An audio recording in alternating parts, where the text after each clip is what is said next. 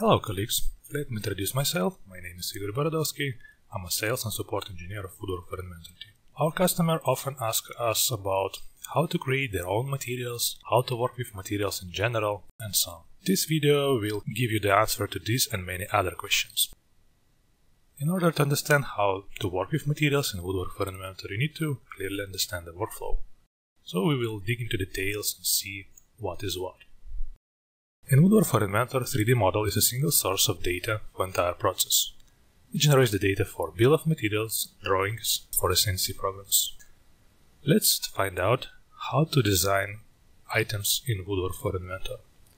It starts from a general shape. Then we add dimensions to define the exact size. Then, when we have a 3D object, we need to assign some type of materials. What those types means? There is two groups of materials main materials as well as the covers. Main materials defines how to calculate amount of materials.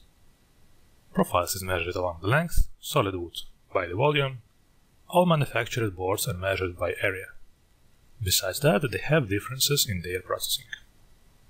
Once we define the type, we need to say what is the physical role of this laminated board in the model. In this case, it would be a facade. So material groups defines what is the physical role of an item in a BOM. So here we have a corpus and we can mark it as a C1. Then we have some internal parts as well as facade. Once we deal with the main materials, it's time to assign some colors. Cover material types is split in three main groups. That is edge bandings, paints, lacquers, and veneers.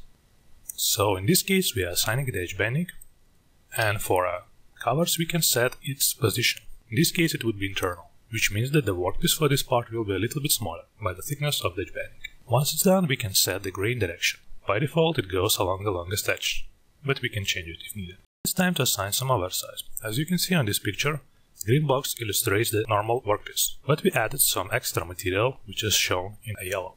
As you can see from this part of video, different appearances doesn't change geometry. So for the design part, geometry is way more important than appearance. Of course, the next step would be to connect those generalized materials with real materials and codes. We can split our design workflow in two main steps, design, BOM. On the design, we are working with generalized materials, as you already saw.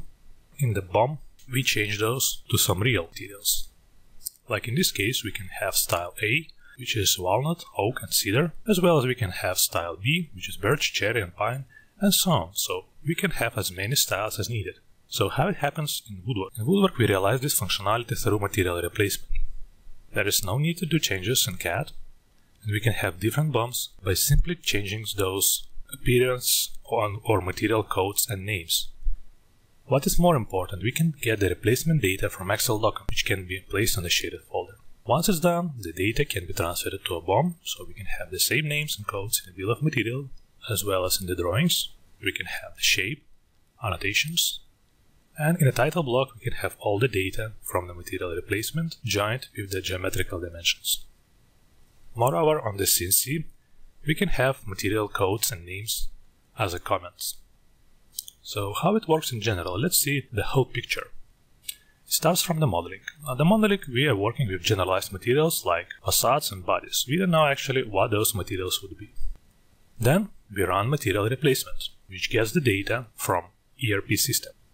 So we utilize the same codes and names as we use in ERP. Then we generate a bill of material, which can be sent back to ERP system for the next steps.